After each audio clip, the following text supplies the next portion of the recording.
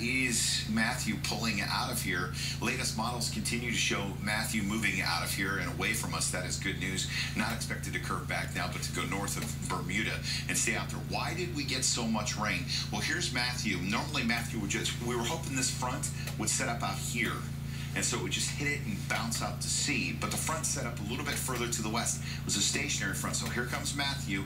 Matthew slides into this front. It, this front lifts all the moisture up, and that just created rain shower after rain shower after rain shower. And that's why this thing put down so much rain here. Usually we see these higher rain amounts down along the coast. We were actually higher in our area. As we go through the day today, we'll see the skies clearing across the region.